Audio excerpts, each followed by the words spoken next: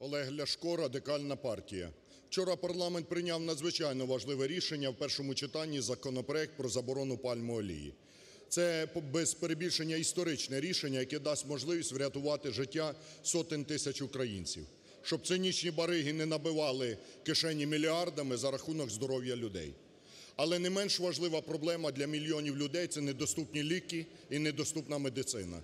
Минулі три тижні я їздив по Україні, на кожній зустрічі люди, особливо пенсіонери, люди поважного віку, бідні люди піднімали питання недоступності ліків і як наслідок неможливості самим полікуватися і полікувати своїх дітей. Я пропоную українцям і Україні план, як зробити так, щоб ліки були доступними. Сьогодні вартість ліків в українських аптеках удвічі-втричі більша, ніж у сусідніх країнах.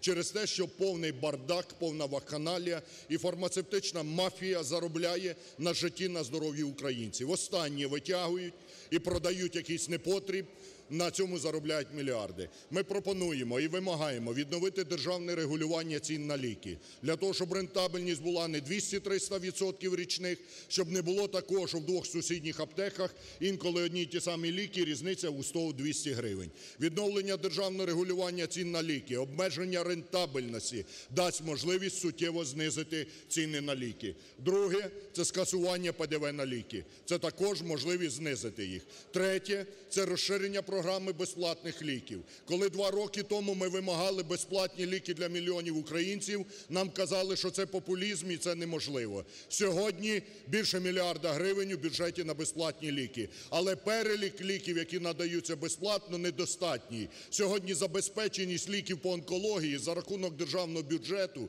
усього 6%. Усе інше люди повинні купляти за свої гроші. Останнє з хати виносять, в борги величезні влазять, продають хати, продають квартири, щоб полікувати онкологію. Ми пропонуємо, щоб ліки від онкології надавалися безплатно. І ключове – це відповідальність за продаж сфальсифікованих ліків. Коли людина приходить в аптеку, платить останні гроші, а їй продають крейду замість справжніх ліків, мінімум 5-7 років тюрми, щоб не заробляли на здоров'ї людей. Фармацевтична мафія, цей спрут мають мільярдні доходи за рахунок здоров'я українців, за рахунок того, що вони не мають можливості купити ліки. Ми зламаємо їм хребет. Я і моя команда, ми оголошуємо хрестовий похід проти дорогих ліків, проти недоступної медицини, проти обмеження права українців лікуватись у рідній країні. Одиниці можуть поїхати по Швейцаріях лікувати своїх дітей. Мільйони українців нікуди не поїдуть далі свого села чи райцентру. Ми пропонуємо, щоб медицина і ліки були доступні. Ми оголошуємо боротьбу за право українців лікуватися в рідній країні, за доступні ліки.